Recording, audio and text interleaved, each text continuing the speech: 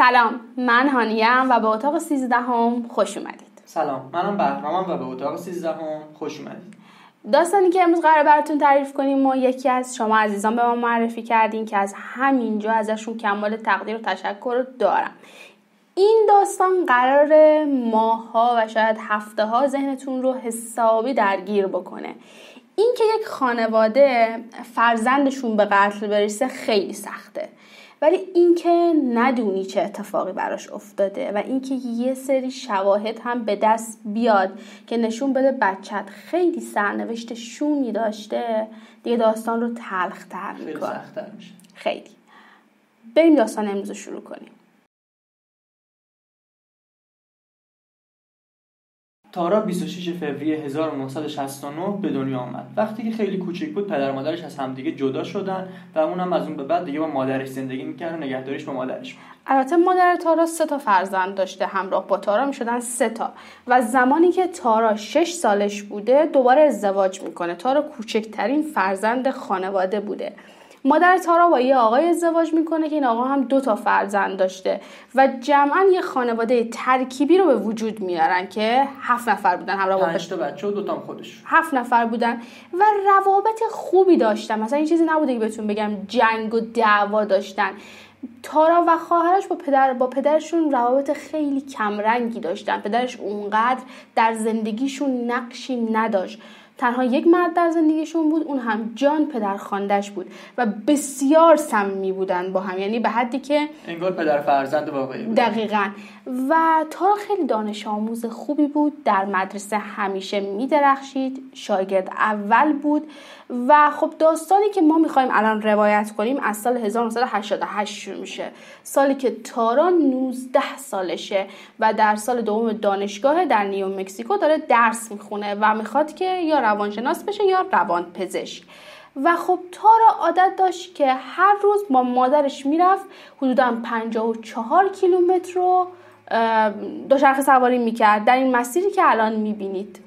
اما در این دوچرخه سواری ها مادرش احساس کرده بود که کسی دنبالشون می‌کنه. یعنی که آره یعنی با اینکه توی اون بزرگ راه ماشین خیلی رفته آمد نمی‌کنه و تقریبا خلوت بوده.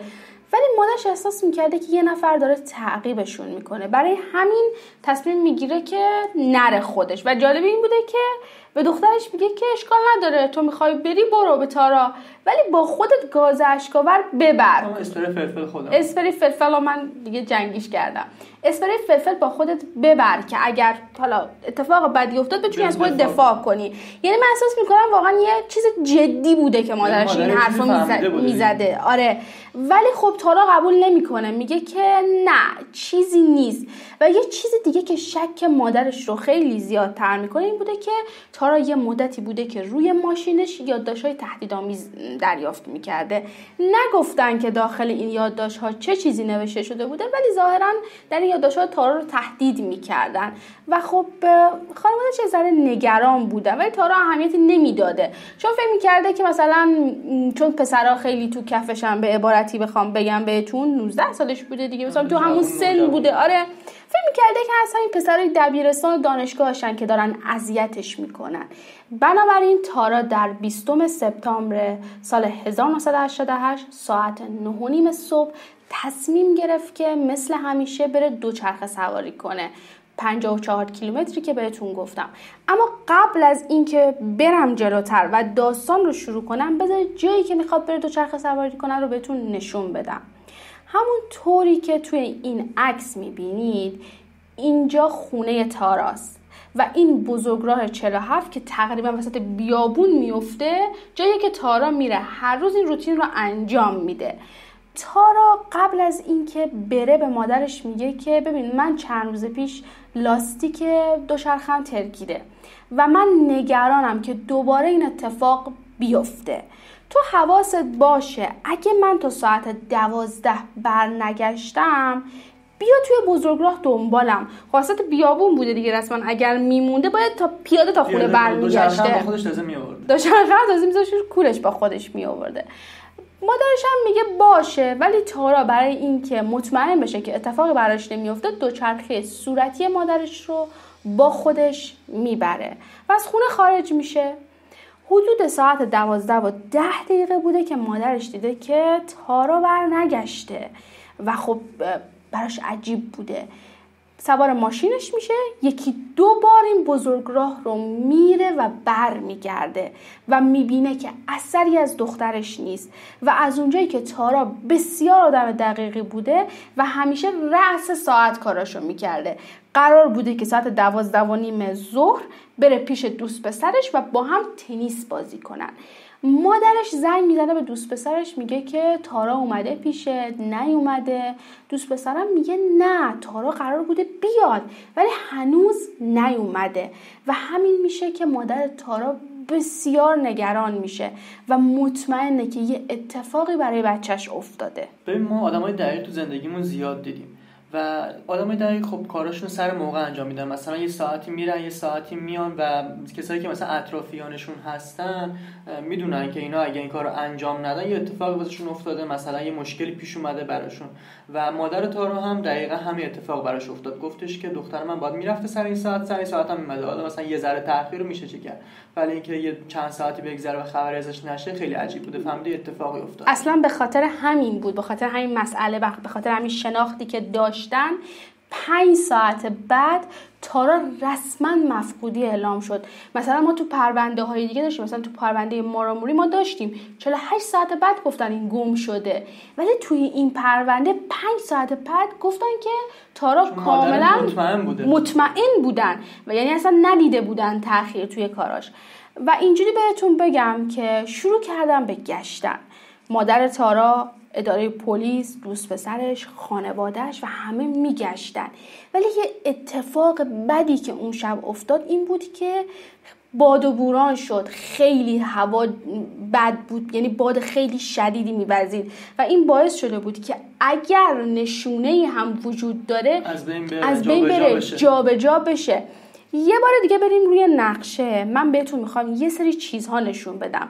این نقشه آمریکاست. برای اینکه بدونید که کجا این داستان اتفاق افتاد معمولا من توی اپیزودهایی که ضبط می‌کنم هیچ وقت اسمها رو زیاد نمیگم چون من خودم قاطی می‌کنم. ترجیح میدم اسمها رو زیاد نگم. ولی برای اینکه بدونیم تارا کجا گم شده تارا در این مسیر گم شده. در این مسیر. یعنی همین جوری که خودتون دارید می‌بینید کاملا یه مسیر بیابونه.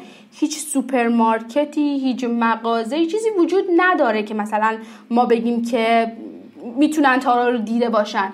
به جز اینکه اگر ماشین از اون منطقه رد. بشه. خونه تارا اینجاست. همینجوری که مشخص شده. و تارا این مسیر رو اومده. موقعی که داشتن دنبال تارا میگشتن یه سری نشونه پیدا کردن اینجا.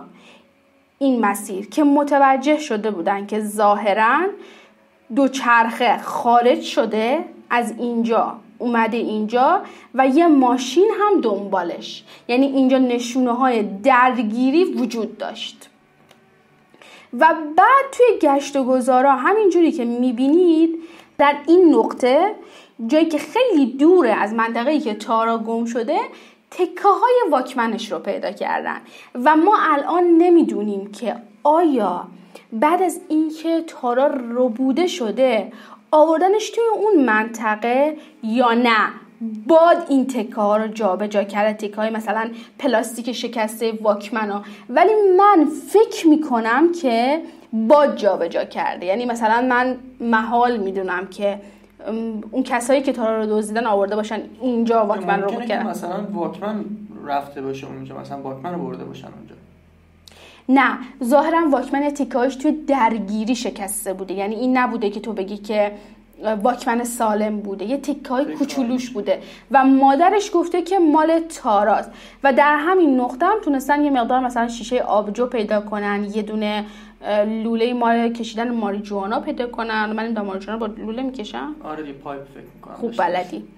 جستجو به دنبال تارا. تقریبا دو هفته طول کشید و نه تارا پیدا شد و نه دوچرخش انگار که مثلا این دوتا آب شدن رفتن روی زیر زمین و هیچی پیدا نشد. یعنی به غیر از همون تیکای شکسته واکمن دیگه هیچی از تارا پیدا نشد. تا همین الان که من دارم این داستان رو براتون میگم. ولی خب شما فکر کنین که دختر جوونتون رو دزدیدن. یه سری آدما من اصلا نمی‌دونم که چجوری مثلا کار می‌کنن. مادر تارا تعریف می‌کرده می‌گفته که یکی از کاراگاه هایی که روی پرونده تارا کار می‌کرده هر سری با یه سناریوی جدید میومده پیش مادر تارا. یکی از مسخره ترین و عجیب ترین سناریوهاش این بوده که یه گروه شیطان پرستی تارا رو دزدیدن دستاش رو قطع کردن به یه درخت توی زمین کاشتن یعنی تارا رو کاشتن توی زمین که احتمالا جوونه بزنه. و بعد از سه روز آتیشش زدن. من فکر کنم خواب میده من باباش تعریف می‌کرده. اصلا تو فکر کن که اصلا بچت گم شده ولی همچنین آدمای احمقی هم دور هستن میان این سناریوها رو هم برات میچینن. یعنی فکر کنم من باید برفتم بهش درس میدم من سناریو بهتر میچینم. و خلاصه اینجوری بهتون بگم که همین آقا هم بعدا ادعا کرد و گفت تارا فرار کرده. ولی واقعا نشونه ای نبود که تارا فرار کرده باشه. کم کم یه سری شاهد هم جلو اومدن. وقتی که داستان خیلی گل کرد و همه در موردش صحبت می‌کردن. هفت نفر شهادت دادن که اون روز داشتن با ماشینشون. از اون مسیر میگذشتن. و تارا رو دیده بودن که در مسیر برگشت به خونه بوده. یعنی برعکس مسیر داشته می‌رفته. انگار راهش رو رفته بوده و حالا برمیگشته. یک وانت فورد که یک کمپر هم به پشتش بسته و متعلق به دهه پنجاه توش چند تا آدم چند تا پسرن که پشت تارا دارن رانندگی می‌کنن و سعی می‌کنن توجه تارا رو جلب کنن. اون شاهدین می‌گفتن که ما مطمئن بودیم که تارا از حضور اونها پشت سرش خبر نداره چون هدفوناش روی گوشش بوده و تمام حواسش به دوچرخه سواریش بوده. چیزایی خیلی بده و موقع دوچرخه سواری و اینجور چیزا. اصلا نگار متوجه نبوده که چند نفر. حتی می‌گفتن که اونا داشتن سر صدا می‌کردن مسخره بازی می‌کردن که توجهش رو جلب کنن. ولی تارا متوجه نشده. خانواده تارا به وسیله همین شهادت هایی که دادن و نشونه هایی که پیدا شد که به نظر می اومد تارا از مسیرش خارج شده و افتاده توی همون زمین خاکی و درگیری اتفاق افتاده رو بازسازی کردن. که من فیلم این بازسازی رو دانلود کردم و براتون می‌ذارم و ببینید که ظاهرا چه اتفاقی براش افتاده.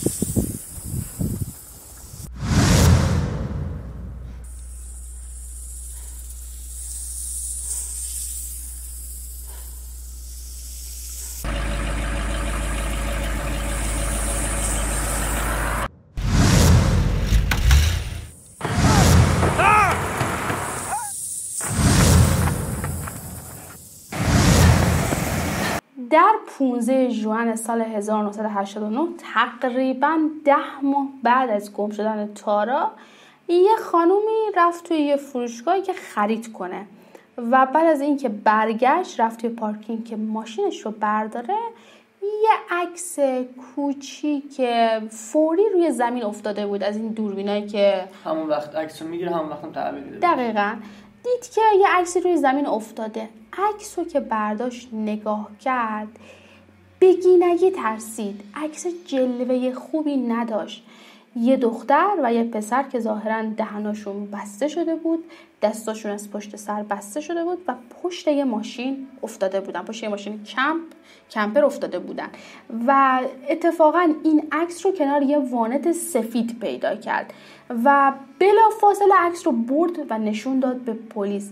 پلیس هم قبل از اینکه اصلا بدونه که این عکس متعلق به کیه افراد توی این عکس کیان سری برگشتن به پارکینگ و چک کردن که ببینن اون ماشین هست یا نه. ولی خب متاسفانه نتونستن ماشین رو پیدا کنن. با وجود اینکه اومدن طرح گذاشتن خروجی های شهر رو بستن ولی نتونستن اون ماشین رو پیدا کنن. و خانومم گفت که یه آقای این راننده این ماشین بوده که حدودا سی سالش بوده.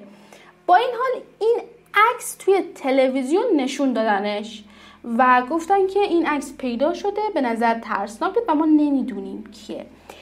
فامیلای مادر تارا این عکس رو می‌بینن و به مادر تارا زنگ می‌زنن و میگن که یه عکسی توی تلویزیون نشون داده شده و به نظر میاد تاراست. و بهتون بگم این عکس اصلا جایی پیدا شده که هزار کیلومتر چه بسا بیشتر فاصله داره با محل گم شدن تارا. یعنی خیلی دور از اون مسیر. و مادر تارا به محض اینکه این عکس رو می‌بینه میگه این تاراست. چرا؟ چون ظاهرا تارا توی یه تصادفی روی پاشی زخمی برداشته بوده و این ردش مونده بوده و اتفاقا روی پای این دختر هم این رده بوده. یعنی احتمالش خیلی زیاده که اون باشه. اصلا اگه قیافش رو شما هم ببینید به نظر میاد تاراست. هرچند که من یه سری عکس دیدم که میگن که فرم ابروهاش نمی‌خوره به تارا. خیلی ها بررسی کردن این عکس رو. در ابتدا به خاطر فرم گوشش و خط موش زارن خط موی اینجا می‌گفتن که فوق العاده شبیه تاراست ولی بعدها گفتن که نه این عکس نمی‌تونه تارا باشه. یه دلیلی که خندهداری که به نظر من اف بی آی آورد این بود که می‌گفت که الان ده ماه از گم شدن تارا میگذره و این دختر داخل عکس موهای پاش شیف شده تمیز شده. و اگر تارا رو دزدیده باشن ممکن نیست که مثلا تارا باشه این. هرچند که من این دلیل قانع کننده نمی‌دونم. نه واقعا. خب ممکنه که چه می‌دونم همون کسی که مثلا اونجا بسته بوده دستش اون زده باشه یا مثلا خودش زده باشه. اصلا آدم مریضی باشه. باشه. دلش بخواد این کار انجام اگر واقعا تارا باشه و ده ماه تارا رو دزدیده واقعا می‌تونه این کار رو بکنه. و حتی چه بسا که من میگم که شاید فرم ابرا همون نفر عوض کرده. حتی ما اگه بگیم چون ابروهای تارا گرده این مثلا یه ذره شکل راست داره ما می‌تونیم بگیم که اصلا شاید خودش ابرو رو برداشته. ابرو رو مثلا وقتی که مثلا حالت چهره که تغییر می‌کنه خمو راست می‌کنه شاید اونم مثلا یه ذره تغییر کرده باشه. اینم هست. یک کتاب هم کنار تارا افتاده که مادرش می‌گفت که این کتابی که توی تصویره نویسنده مورد علاقه تاراست. یعنی کتابایی که همیشه تارا می‌خونه. و معتقد بود که این کتاب برای دخترش گرفته شده که مطالعه کنه. ظاهرا دست همون آدم رو با که هست. و روی اون کتاب ظاهرا یه شماره تلفنی نوشته شده که بعضی از اعدادش ناخواناست و خب پلیس موفق نشد که بتونه این شماره تلفن رو بخونه. از اون مهمتر کنار تارات کنار همین دختری که توی عکس یه پسر هم هست یه پسر بچه که بعد از اینکه این عکس توی تلویزیون منتشر شد یه خانواده هم اومدن و گفتن که این این پسر بچه پسر ماست. ظاهرا این پسر اسمش مایکل بوده و همراه پدرش به کوه رفته که کمپ کنن اونجا ولی 20 دقیقه بعد از این که رسیده این پسر آب شده رفته توی زمین و هیچ نشونه ای ازش پیدا نکردن. و بعدش این بوده که بعدش هم طوفان و برف اومده و دیگه اصلا گشتن دنبال این بچه کلا منحل میشه. بیفایده میشه. و خب پدر مادر معتقد بودن که این پسر بچه داخل عکس مایکله. ولی در سال 1990 اسکلت و باقی مونده بدن مایکل در چند کیلومتری همون جایی که با پدرش رفته بودن کمپ کنن پیدا شد. و پلیس می‌گفت که احتمالا مایکل رفته اونجا و گم شده. نه دیگه نتونسته برگرده و توی برف هم مرده. ولی خب یه چیزی رو باید در نظر بگیریم که البته نظر شخصی من اینه که این عکس هم مایکله هم تارا و ممکنه اون آدمی که اینها رو دزدیده انقدر مریض بوده که بعد از اینکه کشته بچه رو آورده همونجا رها کرده که بتونه مثلا نشونه هاش رو از بین ببره. ولی یه چیزی رو بهش فکر کنین که اگر این عکس تارا و مایکل نیستن کیه؟ هیچ کسی دنبالشون نیست. هیچ کسی دنبال این دو نفر نیست. اگر ما یک درصد بگیم اینها نیستن. بالاخره اینا باید یه خانواده ای داشته باشن دیگه. نه اینکه هیچ کس نیاد دنبالشون. و بعد از اینکه این عکس ها فرستاده شد به کارخونه کارخونه گفت که این عکس ها این عکس بعد از گم شدن تارا گرفته شده. یعنی اینکه در اون زمان اون فیلم در دسترس نبوده اون کاغذ. آه یعنی کاغذ بعد از اینکه این اتفاق افتاده. بعد از اینکه تارا گم شده خریده شده تولید شده و خریده شده. برای همین کارخونه معتقد بود که این عکس جدید گرفته شده. و خب طی این سالها یک دو تا عکس دیگه هم پیدا شد. به جز این عکس یه عکس دیگه منتشر شد که در کالیفرنیا پیدا شد. در کنار یک ساختمون نیمساز و ظاهرا یک دختر رو نشون می‌داد که دهنش بسته است و به نظر من برهنه است. با اینکه عکس از نصف است ولی برهنه است عکس. و مادر تارا می‌گفت که این عکس دختر منه. اونم به خاطر فرم چشم ها و اینکه یه چیز دیگه که خیلی ها می‌گفتن که این دوتا عکس مرتبط به همه ظاهرا پشت این عکس یه پاشه سفید آبی می‌بینید. و توی عکس این عکس دیگه که تارا و مایکل هستن یک بالشت آبی و سفید دیده میشه. برای همین خیلی ها میگن این دوتا عکس به هم مربوطه مرتبطه. ولی عکس واقعا انقدر غیر واضحه که نمیشه دقیق تشخیصش داد که تارا هست یا نه. ولی من بازم فکر می‌کنم که تاراست و در سال 1990 هم یک عکس دیگه منتشر شد که ظاهرا در قطار گرفته شده.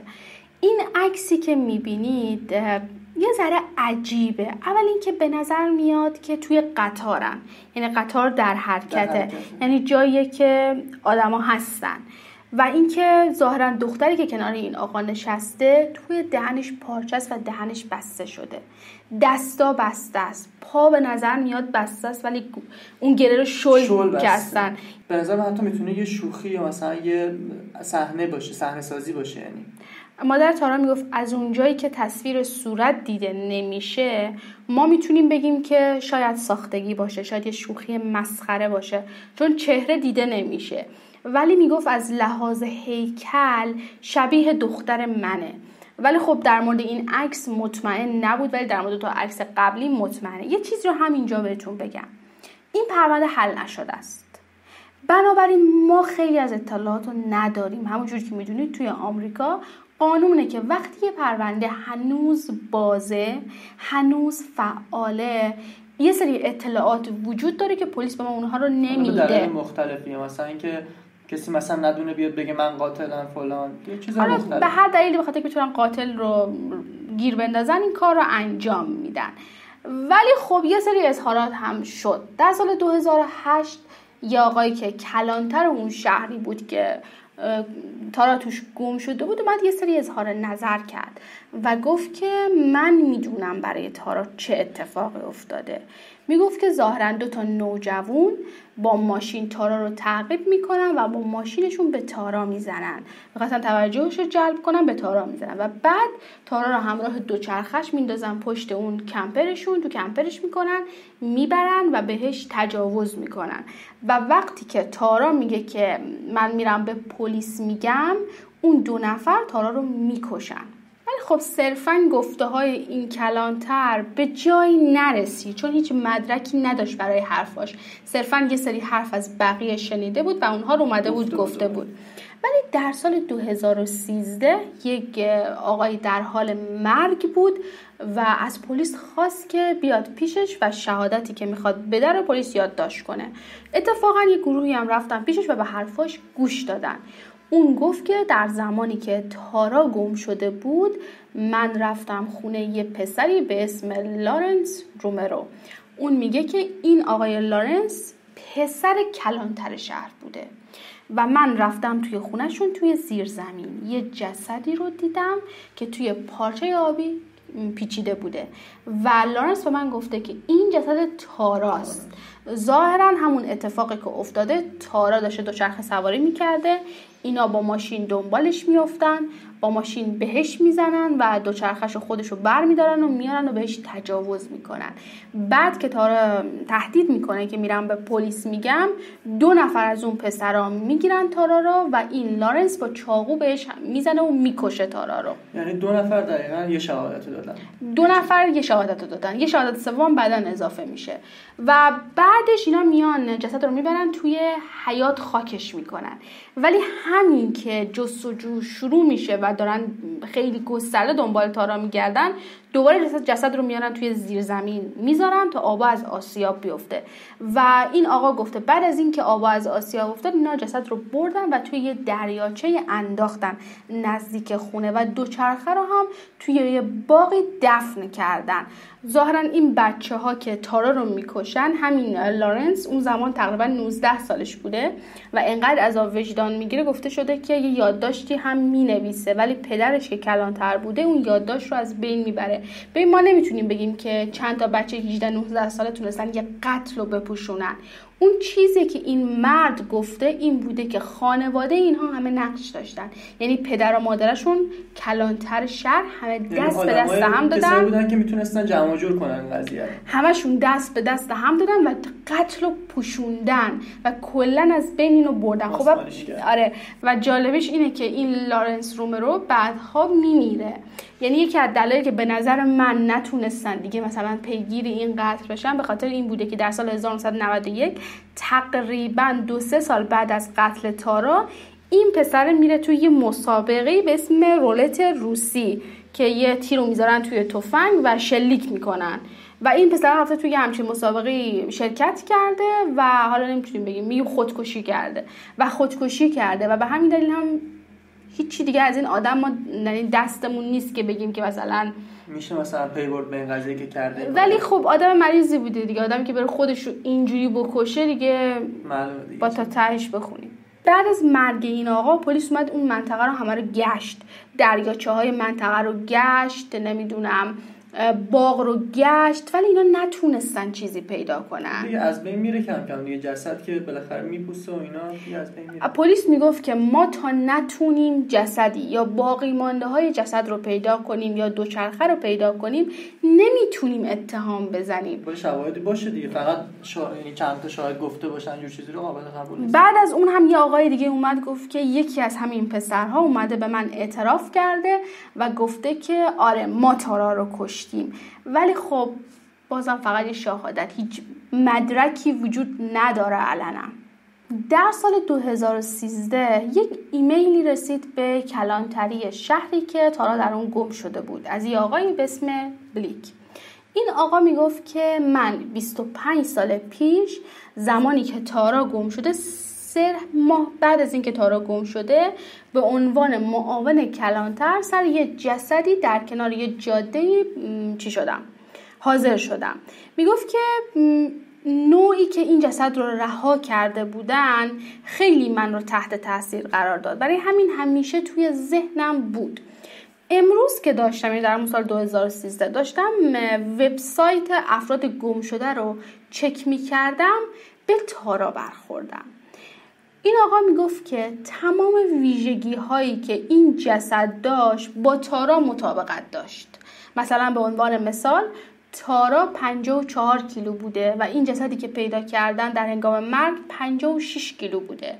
قد تارا یه چیزی حدود 174 بوده. این جسدی هم که پیدا کردن 174 بوده. وزنشون یکی قد یکی رنگ مو یکی. و می‌گفت که من برام عجیب بود که هیچ کس پیدا نشد که بگه که مثلا این جسد متعلق به خواهر منه به مادر منه به خانواده منه. هیچ کس پیدا نشد که ادعا کنه. و می‌گفت که این جسد بعدها دفنش کردن. وقتی دیدن هیچ کس پیدا نمیشه در یک گور بینشون دفنش کردن. و می‌گفت که احتمال داره تارا باشه و به نظر من عجیب هم نیستش. و جالبش اینه که می‌گفت که احتمال داره که دی ایش موجود باشه. ولی ما هنوز نمی‌دونیم که مثلا نشون دی ای رو گرفتن مطابقت دادن یا ندادن. هیچ خبری ندادن. هیچ خبری ندادن. که مثلا هست نه. ولی خب احتمالش وجود داره. مثلا من اولی که تارا پرونده تارا رو شروع کردم بخوندن گفتم از کجا معلوم که یکی از این افرادی گم شده مثلا تارا نباشه. آدمایی گم شدن بالاخره ممکنه جای دیگه مثلا برده باشنشون یا مثلا اونور دورتر گم شد یعنی انداخته باشنشون. یعنی احتمال داره که این تارا باشه با توجه به اینکه رنگ موها یکی قد وزن و خب این عجیبه دیگه.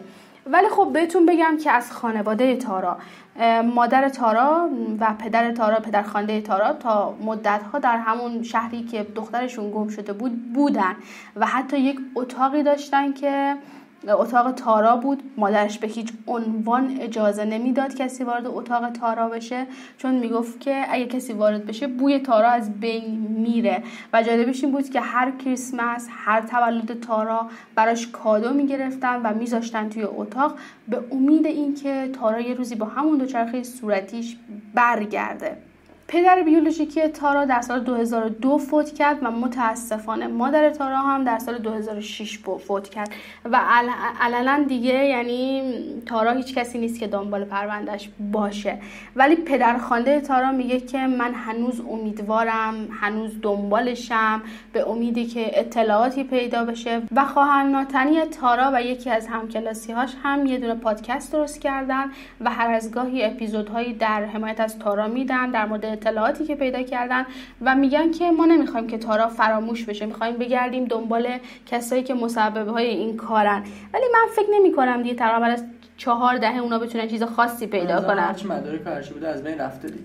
و خودشون هم 20 هزار دلار جایزه گذاشتن به امید اینکه تارا پیدا بشه. یه چیزی هم آخر ویدیو اضافه کنم. تقریبا در سال 2009 یه چند تا نامه پستی به دست پلیس رسید که یکی عکس یه پسر بچه بود که روی دهنش با ماژیک چیزی کشیده بودن. نتونستم پیدا کنن که این نامه ها رو کی فرستاده. و من نمی‌دونم به چه دلیل پلیس می‌گفت که احتمال داره که این نامه ها مربوط به تارا باشه. یعنی با پرونده تارا در ارتباط باشه. حالا اینکه اون پسر بچه با تارا چه ارتباطی داره رو پلیس رو نمی‌دونیم. ما. با این حال این پرونده حل نشده است. امیدوارم از این اپیزود خوشتون اومده باشه. هفته بعد یه اپیزود خیلی خوب داریم. منو که حسابی جذب کرده هرچند حل نشده است. تا ویدئوی بعدی خدا نگهدار. خدا نگهدار.